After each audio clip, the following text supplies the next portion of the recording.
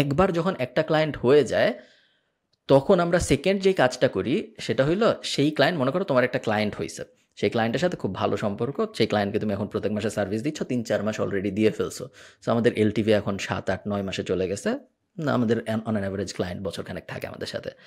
So লাস্টের হাফে এসে সো পাঁচ, চার, পাঁচ মাস পরে যে আমরা যেটা করি, আমরা ওই ক্লায়েন্টকে ইনস্টাগ্রামে ফলো করে ওনার ফলো লিস্ট দেখে উনি যাদেরকে ফলো করে এবং যারা ওনাকে ফলো করে এর মধ্যে যে কটা বিজনেস আছে সেই বিজনেসগুলোকে আমরা রিচ আউট করি উইথ অ্যান ইন্ট্রো যে আমি উনার সাথে কানেক্টেড তোমাকে হাই বলতেছি।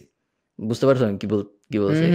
বুঝছি বুঝছি বুঝছি বুঝছি বুঝছি। তো একটা অর্গানিক ইন্ট্রো হিসেবে কাজ করে আমি তোমাকে আবার এক্সাম্পল দিই। মনে করো দ্য ফ্যামিলি এডিট আমাদের একটা ক্লায়েন্ট আসলেও ক্লায়েন্ট সো ওদের ইনস্টাগ্রামে ওর ওদেরকে যারা ফলো করে এবং ও যাদেরকে ফলো করে এই দুজনের এই ইনস্টাগ্রামে ফলো লিস্ট দেখা যায় কেউ বিজনেস হইলে। আপনি যদি তাদের ফলো করেন। সো ওই ফলো লিস্টটা আমরা দেখি দেখে দেখি যে এই ইনস্টাগ্রাম ফলোগুলোর মধ্যে কোনগুলা বিজনেস যেগুলো বিজনেস সেইগুলোকে আমরা ফলো করি এবং তারপর ওগুলোকে আমরা মেসেজ পাঠাই যে আমি অলরেডি ফ্যামিলি এডিটের সাথে কাজ করি এই কারণে আমি তোমাকে ফলো করলাম তোমার এই ছবিটা অনেক সুন্দর। শেষ কথা এখানে।